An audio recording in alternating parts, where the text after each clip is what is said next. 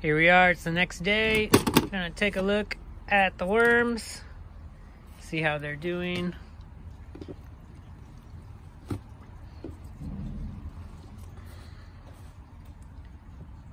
See a few here on the surface.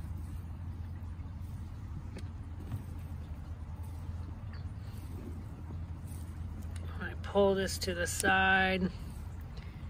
I see worms kind of all the way throughout.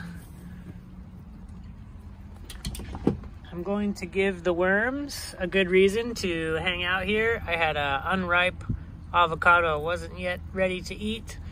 So this is going to become worm food. Put this right down here. Then I have their favorite watermelon.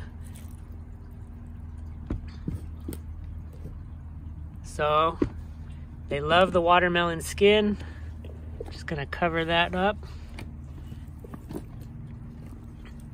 They will continue to explore around, but this will give them a good reason to start hanging out in this corner. Cover this back up with our fabric.